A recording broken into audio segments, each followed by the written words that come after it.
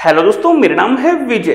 Finally available है हमारे पास Poco का M2 Pro साथ में अवेलेबल है उसका बाई पोको X2 दो कज़न बाई अवेलेबल है, Redmi Note 9 Pro, Redmi Note 9 Pro Max और एक है कंपटीशन अवेलेबल जो कि है Motorola One Fusion Plus हम करने वाले हैं इन सभी फ़ोन में स्पीड टेस्ट कंपैरिजन और बताने वाले हैं कि यार यहाँ पे जो है कौन सा फ़ोन बेटर है, क्योंकि ये पाँचों ही फ़ोन जो है एक दूसरे को काफ़ी अच्छे से टक्कर देते हैं और सभी जो वेरियंट है हमारे पास वो है सिक्स रैम के साथ में। तो करते हैं यहाँ पे स्पीड टेस्ट कंपैरिजन और बताते हैं कि कौन सा फ़ोन जो है बेटर रहने वाला है आपके लिए। तो देखो स्पीड कंपैरिजन जो है हम यहाँ पे दो पैटर्न से करने वाले हैं, जो कि फ़र्स्ट होगा, वो होगा यहाँ पे डाउनलोडिंग टेस्ट अब यहाँ पे स्क्रीन पे इंस्टॉल है अवेलेबल जो कि ऑलमोस्ट 12 एप्लीकेशन एक प्ले स्टोर और अवेलेबल है, जिसमें हम डाउनलोड करने वाले हैं एप्लीकेशन को। सबवे सर्फर हम जो है डाउनलोड करते हैं, जो कि ऑलमोस्ट जो है सौ एमबी की एप्लीकेशन है। सभी फ़ोन में पहले कर लेते हैं अनइंस्टॉल इसको और देखते हैं कि यार कौन सा फ़ोन जो है पहले डाउनलोड कर लेता है। तो यहाँ पे पहले अनइंस्टॉल करता हूँ सबवे सर्वर को वापस से री करता हूँ। सभी फ़ोन में एक ही जो है वाईफाई कनेक्टिविटी अवेलेबल है।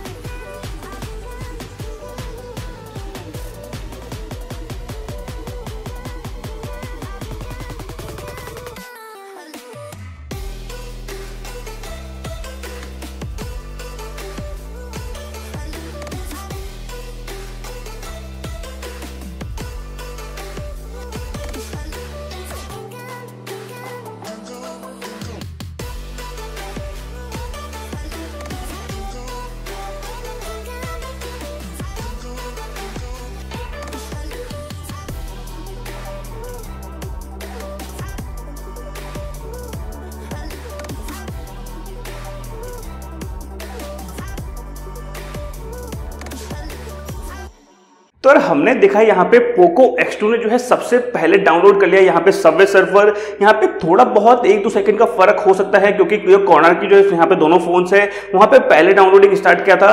दो सेकंड का हम यहाँ पे जो है उनको यहाँ पे दे सकते हैं कि मतलब हम आपका साथ देंगे बीच वाले फोन्स का।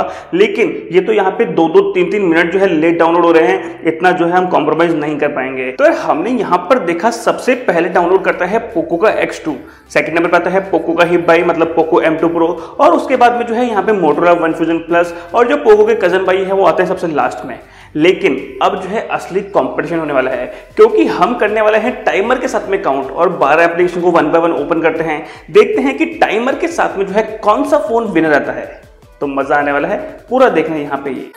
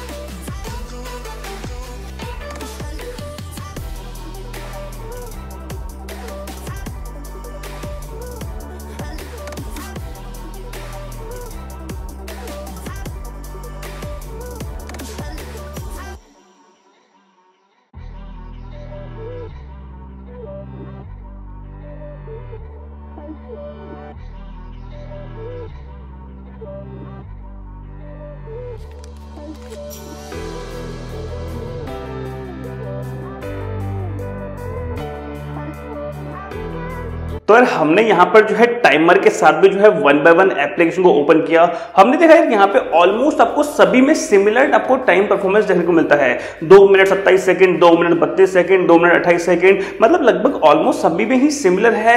लेकिन आप यहाँ पे देख सकते हैं कि कुछ आपको एक दो मिनट का जो है फ़र्क देखने को मिलेगा, क्योंकि यहाँ पे सभी वेरियंट जो है सिक्स रैम के हैं, और इसके अलावा यहाँ पे जो कॉम्पिटिशन है काफ़ी तगड़ा है, क्योंकि Snapdragon seven twenty G Snapdragon seven thirty G almost जो है परफॉर्मेंस सेम मिलता है। कुछ कुछ डिवाइसेस में आप यहाँ पे हमको अलग डिफरेंस देखने को मिलता है, या फिर लोअर या फिर अपर लेकिन यहाँ पे हमने जो है सभी फाइव फ़ोन का कंपेरिजन किया है। सभी में ऑलमोस्ट सिमिलर परफॉर्मेंस जो है देखने को मिलने वाला है।